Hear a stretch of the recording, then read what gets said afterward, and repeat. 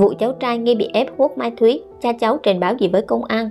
Đoạn clip được phát tán rộng rãi trên mạng xã hội ghi lại cảnh một cháu trai còn mặc tả bị dọa và ép sử dụng chất nghi là Mai Thúy gây phẫn nộ.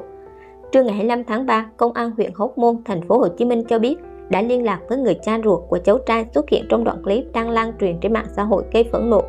Trước đó, vào rạng sáng cùng ngày, xuất hiện một số đoạn clip ghi lại cảnh một cháu trai cởi trần mặc tả bị người đàn ông có nhiều hình xăm dọa và có hành vi hình hạ. Cụ thể, trong đoạn clip dài khoảng 2 phút, cháu trai bị ép dùng hai tay cầm chai nước giữ nguyên trên loa và đe dọa không được đánh chị của cháu nữa. Thời điểm này có sự chứng kiến của một cháu gái và phụ nữ dùng điện thoại để quay lại. Trong khi đó, ở một đoạn clip khác, người đàn ông xâm trổ liên tục dùng búa kéo tua vít, kìm, dọa, gõ và kẹp vào vùng kín của cháu. Ở đoạn clip dài khoảng 20 giây, người đàn ông nói trên còn cho cháu trai hút chất nghi là mai thúy Lúc này người phụ nữ chứng kiến còn hỏi ok không sau khi cháu trai này đã hút xong.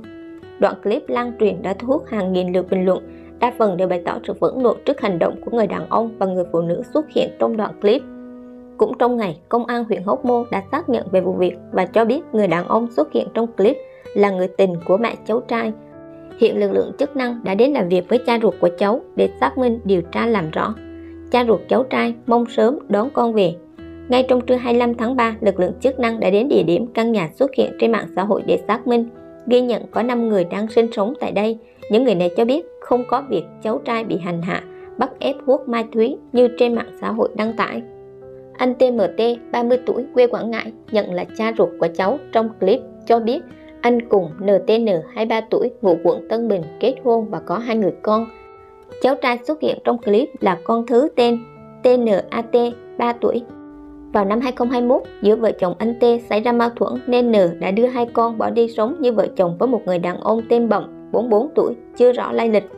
Khoảng 4 tháng trước, anh T phát hiện N sử dụng mai thúy nên đã lên quận Tân Bình đón đứa con lớn về nhà ở cùng. Cháu trai nhỏ vẫn ở với mẹ. Vài ngày trước, anh T có gọi điện thoại cho N mượn tài khoản mạng xã hội để bán hàng. Khi anh này đăng nhập vào tài khoản của N phát hiện các đoạn clip như trên nên đã đăng tải lên mạng xã hội. Anh T cho biết các đoạn clip này có thể đã có từ khoảng 5 tháng trước vì trong clip có hình ảnh con lớn. Thời điểm phát hiện những clip này là lúc nửa đêm, dù rất tức giận nhưng không thể liên lạc được với vợ và đến trưa hôm sau mới nói chuyện được.